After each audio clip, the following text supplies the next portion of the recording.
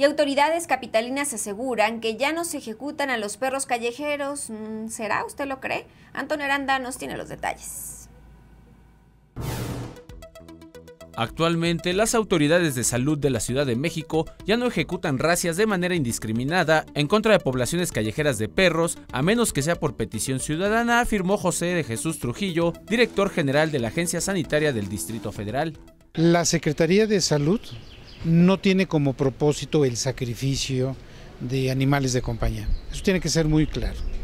La Secretaría de Salud ya no está llevando actividades en racias donde se tenía la captura de animales de una manera indiscriminada, solo a través de una solicitud ciudadana. Jesús Trujillo, director general de la Agencia Sanitaria del Distrito Federal, es responsable también de las dos clínicas veterinarias de esta capital. El funcionario indicó que el problema de los perros que deambulan libres por la calle suma 1.200.000 canes, por lo que llamó a la ciudadanía a participar siendo dueños responsables.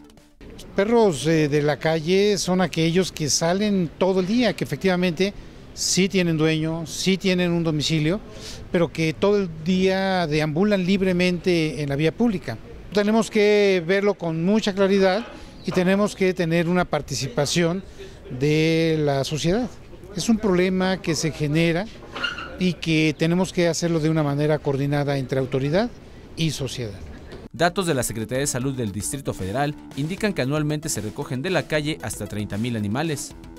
Una vez que llegan al centro antirrábico o de control canino, permanecen en observación de 48 a 72 horas, como lo marca la Ley de Protección a los Animales del DF, a fin de que puedan ser reclamados por sus dueños o en su caso ser dormidos si no son reclamados. Reportó Antonio Aranda.